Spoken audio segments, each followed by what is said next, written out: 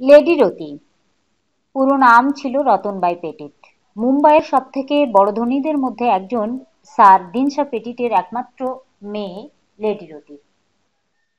মোহাম্মদ আলী জিন্না আর রতির প্রেমের শুরুটা হয়েছিল আরও বছর দুয়েক আগে।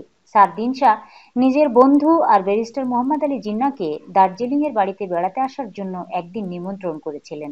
সেখানে দিনশার ষোলো বছরের কন্যা লেডি রতিও ছিলেন। সেই সময়ের মুম্বাইয়ের মিস রতির সৌন্দর্য নিয়ে একটা চর্চার বিষয় ছিল সবার মুখে মুখে। আর মিস্টার জিন্না তখন ভারতীয় রাজনীতির শিখরের খুব কাছাকাছি পৌঁছেও গিয়েছিলেন। তখন মিস্টার জিন্নার বয়স প্রায় চল্লিশ বছর।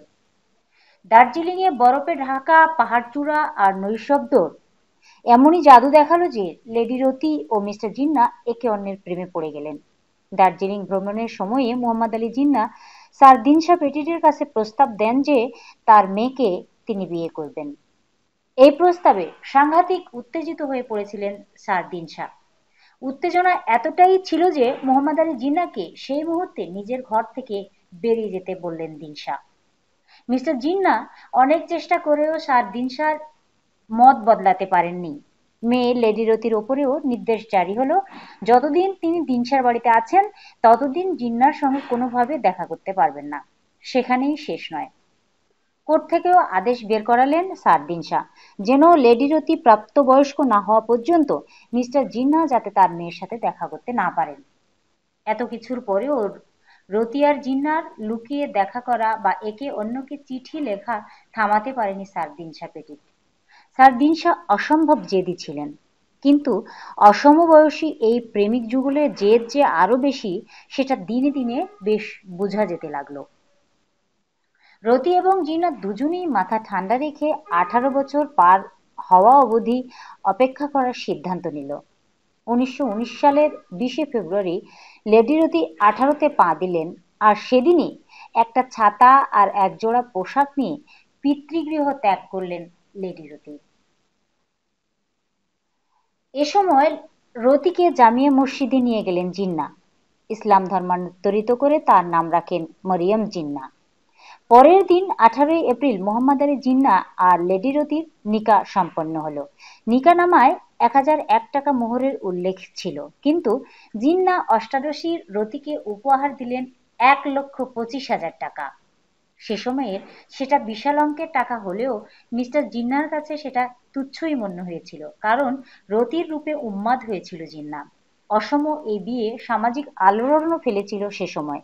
জিন্নার এই বিয়ের পর সরোজিনী নাইডুও ডক্টর সৈয়দ মাহমুদকে পাঠানো একটি চিঠিতে জিন্নার বিয়ে প্রসঙ্গ উল্লেখ করে লিখেছিলেন, শেষ পর্যন্ত জিন্না নিজের বাসনার নীল গোলাপটা তাহলে তুলেই নিল। আমার মনে হয় মেয়েটি যে কত বড় আত্মত্যাগ করেছে তা বোধ হয় সে কল্পনাও করতে পারছে না। অনেকেরই ধারণা ছিল যে সরোজিনী নাইডুরও জিন্নার প্রতি দুর্বলতা ছিল, কিন্তু জিন্নার সেটাতে পাত্তা দেননি। যদিও সরোজিনী নাইডুকে তৎকালীন বোম্বে নাইটিকেল, নাইটিঙ্গেল বলেই মনে করা হতো।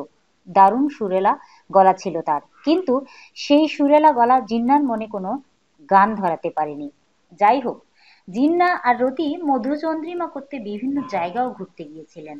পরবর্তীতে মোহাম্মদ আলী জিন্নার রাজনৈতিক ব্যস্ততা আর স্ত্রীর সঙ্গে বয়সের ফারাক জিন্না আর রতির মধ্যে ধীরে ধীরে কিছুটা দূরত্ব তৈরি করে দিল। তখন অল্প বয়সী স্ত্রী আর দুধের শিশুকন্যার জন্য দেওয়ার মতো সময় তার হাতে ছিল না। অন্যদিকে লেডি রতিও মাঝে মাঝে অসুস্থ হয়ে পড়তেন।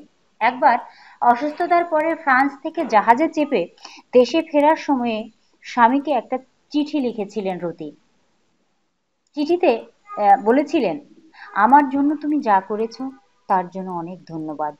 আমি তোমাকে যতটা চেয়েছিলাম, আর কোনো পুরুষ মানুষকেই, কোনো নারী বোধহয় অতটা চায়নি কখনো।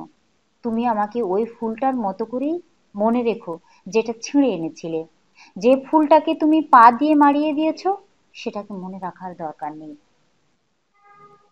জানা যায়, উনিশশো উনত্রিশ সালের বিশে ফেব্রুয়ারি অনেকগুলো ঘুমের ওষুধ খেয়ে আত্মহত্যা করেছিলেন রতি। মোহাম্মদ আলী জিনা সেদিন দিল্লিতে ওয়েস্টার্ন কোর্ট ভবনে ছিলেন। তখনই একটা ট্রাঙ্ক কল আসে তার কাছে। ফোনের অপর প্রান্তে ছিলেন শ্বশুর দিনশা পেটেট দশ বছরের মধ্যে সেই প্রথমবার শ্বশুরের সঙ্গে কথা হয় মোহাম্মদ আলী জিন্নার। মেয়ে যে খুব অসুস্থ, সেই খবরটা জিন্নাকে জানিয়েছিলেন মিস্টার দিনশা। সঙ্গে সঙ্গে তিনি ট্রেনে করে মুম্বাইয়ের দিকে রওনা হন।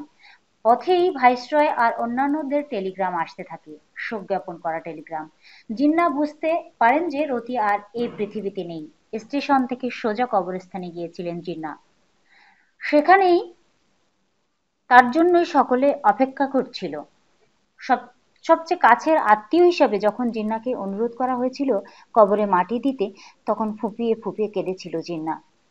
সেই প্রথম আর সেই শেষবার মোহাম্মদ আলী জিন্নাকে জনসমক্ষে নিজের মনের ভাব প্রকাশ করতে দেখা গিয়েছিল, শুধুই প্রেমের কারণে।